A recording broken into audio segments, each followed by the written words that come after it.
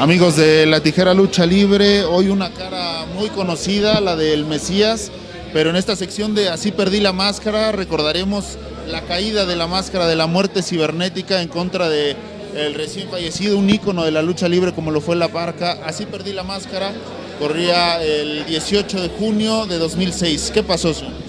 Pues mira, antes que nada un saludito para todas las fanaticadas, gracias por ese gran apoyo que nos han dado a todos los luchadores, que si no fueran por ustedes, los fanáticos, nosotros los luchadores, no estuviéramos aquí, antes que nada. Segundo, este, fíjate, estamos hablando ya de 15 años atrás, eh, en realidad ha sido una historia, eh, una historia donde yo tuve esta máscara que en paz descanse me la quitó el fallecido este, La Parca, Jesús Escobosa, y este, tuvimos un duelo, un duelo que, duró bastante, unos 30 minutos más o menos. Fue una historia, fue el comienzo y la nueva era de Ricky Banderas, el Mesías, aquí en México, eh, que nunca pensé que iba a llegar tan lejos aquí en, este país tan, tan, tan preciado que es mi casa ahora mismo.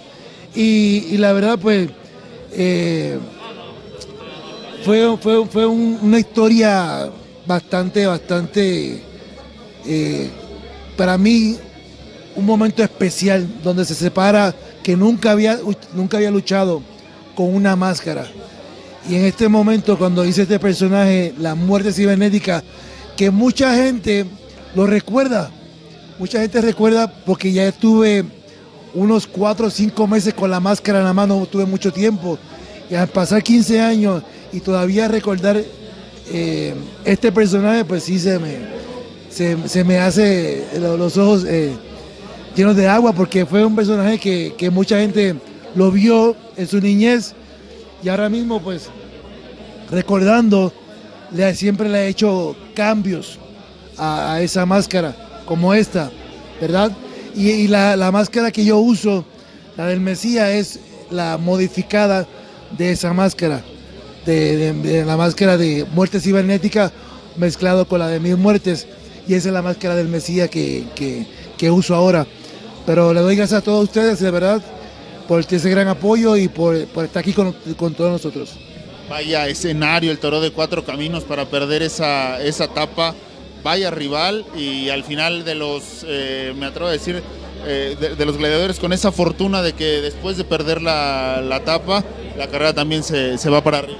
Sí, eh, es muy raro que cuando un luchador pierde la, la, tapa, la máscara, pues muchos dicen que, que la carrera se le cae, pero fue, fue a lo contrario conmigo. Me quitan la máscara, crece la nueva era de el Mesías eh, obviamente pues eh, el nombre del Mesías viene mucho de años atrás, estamos hablando de casi 22 años, y estar con el nombre del Mesías pues todo el mundo se da, es otra, otra idea diferente. Luchar en, el toreo cuatro caminos es, es, fue una historia y en realidad uno pasa por ahí ahora mismo que no hay nada, simplemente queda lo que los recuerdos y pues se me hace muy grato, muy grato. Este, y fue una bendición haber luchado en, ese, en, ese, en esa tarima. Pues así perdió la máscara, la muerte cibernética, hoy conocido como el Mesías. Así es. Así que listo para todo el mundo. Guste a quien no le guste, Ricky Banderas el Mesías, la crema de la crema.